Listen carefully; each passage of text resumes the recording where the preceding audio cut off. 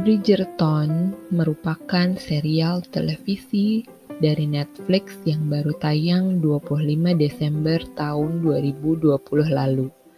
Cerita ini diambil dari novel berjudul sama karya Julia Quinn. Memiliki latar belakang era 1800-an, serial ini pada umumnya menggambarkan kehidupan masyarakat kelas atas pada zamannya namun fokus pada keluarga Bridgerton yang memiliki empat anak laki-laki dan empat anak perempuan.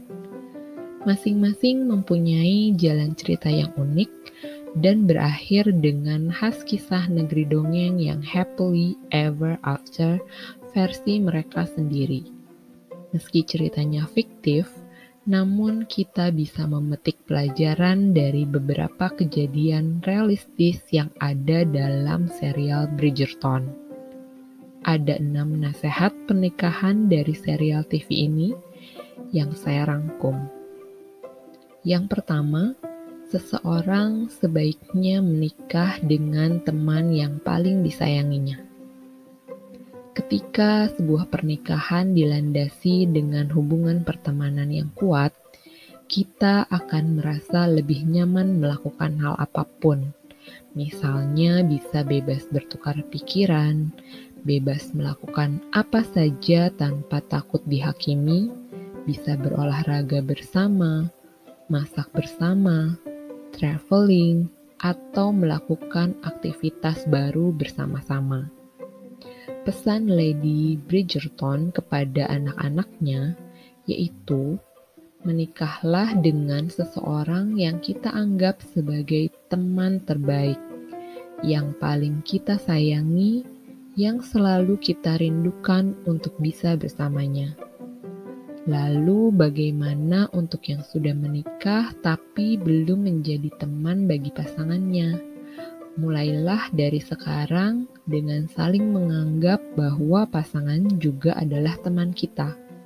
Mulailah tertawa kencang bersama, melakukan hal bodoh bersama, menjadi pendengar yang baik, dan jangan pernah berhenti untuk berbicara tentang hal sekecil apa pun. Sisakan juga ruang untuk jiwa yang terkadang ingin sendiri Dikutip dari majalah Time yang terbit pada tanggal 25 Januari 2015, ada sebuah studi yang dirilis dalam National Bureau of Economic Research bahwa mereka yang menyatakan pasangannya adalah best friend-nya mereka dilaporkan memiliki kepuasan hidup yang lebih tinggi dibandingkan dengan pasangan yang tidak bersahabat satu sama lain. Ini menunjukkan bahwa menjadi teman bagi pasangan kita sangatlah penting dan berdampak baik bagi keberhasilan rumah tangga. Pelajaran yang kedua adalah pentingnya sebuah kejujuran di atas segalanya apa yang terjadi pada pasangan utama dalam serial Bridgerton, yaitu Daphne dan Simon, begitu juga pada Colin dan Marina, telah menjadi contoh nyata bahwa kejujuran dalam sebuah hubungan itu sangat penting. Begitu kita mencintai seseorang, sadar ataupun tidak sadar, kita tiba-tiba saja bisa menerima segala kekurangan pasangan tapi begitu ada kebohongan di dalamnya, akan menjadi sebuah pengkhianatan yang luar biasa. Cepat atau lambat, kebohongan akan terbongkar. Jadi, tidak ada gunanya menutupi hal-hal yang seharusnya diketahui oleh pasangan.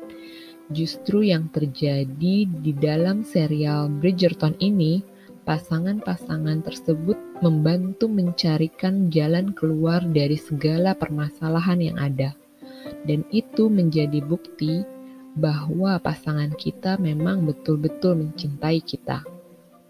Kejujuran juga menjadi satu ujian dalam mencintai seseorang.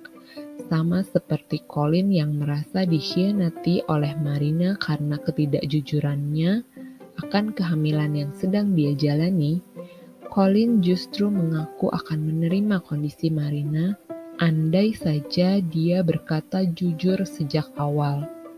Karena ketika seseorang dibohongi, ia akan merasa dibodohi dan ditipu habis-habisan. Maka Colin lebih memilih untuk memutuskan hubungan dengan Marina. Yang ketiga, turunkan harapan kita pada orang yang kita cintai. Saat jatuh cinta, dunia memang terasa hanya milik berdua.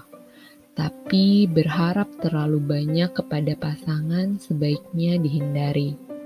Tidak semua keinginan dan kebutuhan kita dapat dipenuhi oleh pasangan begitu pula sebaliknya. Maka janganlah berharap terlalu banyak, karena kelak hanya akan membuat kita kecewa. Dan terkadang orang yang paling melukai hati kita adalah orang yang paling kita cintai. Jadi, lebih baik kita lakukan kewajiban tanpa menuntut apa pun. Biarlah pasangan kita membalas dengan kesadarannya sendiri dan melihat betapa kita mencintainya tanpa syarat. Yang keempat, sebuah hubungan itu harus dibangun oleh dua orang. Sebuah hubungan yang berjalan dengan satu roda tentu akan sulit untuk maju ke mana pun. Dua roda akan lebih baik dari satu dan itulah alasan kenapa suatu hubungan perlu dijaga dan dipupuk bersama. Ketika kita mampu bersatu dan bekerja sama dalam menjalani satu ikatan cinta, maka segala permasalahan pun bisa diselesaikan dengan cara yang paling baik. Ketika ada satu hal yang retak, kita akan bisa memperbaikinya jika dua-duanya mau berkomitmen untuk memulai lagi dari awal.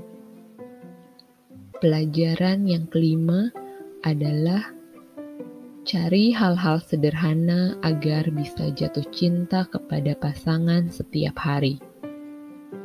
Rahasia kenapa Lady Featherington berhasil mempertahankan pernikahannya selama 22 tahun adalah keberhasilannya dalam menemukan cinta yang lain. Namun bukan cinta di luar pernikahan. Ia malah mampu mendapatkan cinta di dalam pernikahannya yang meliputi anak dan keluarganya. Dimulai dari mencintai hal-hal yang kecil, juga mencintai hal-hal yang besar. Dengan mencintai apa yang sudah dia miliki, Lady Featherington akhirnya merasa cukup, sehingga dia tidak membutuhkan apa pun lagi. Dia sudah mencintai kehidupannya yang begitu berharga.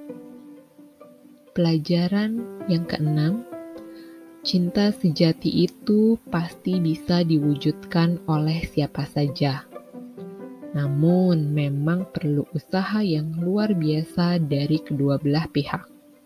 Semua yang baru saja menikah tentu tidak akan pernah tahu apa yang akan mungkin terjadi di masa depan.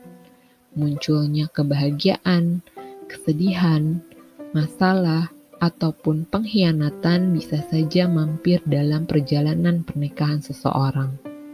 Namun, untuk menghindari segala masalah, diperlukan pengorbanan yang sungguh-sungguh demi membahagiakan pasangan kita harus selalu menanamkan sikap saling menghargai, saling percaya, saling setia, saling jujur, dan saling mencintai dengan sepenuh hati. Itulah enam nasihat yang bisa diambil. Lalu, kira-kira pelajaran apa lagi yang kalian dapatkan dari serial TV Bridgerton? Yuk sharing di kolom komentar.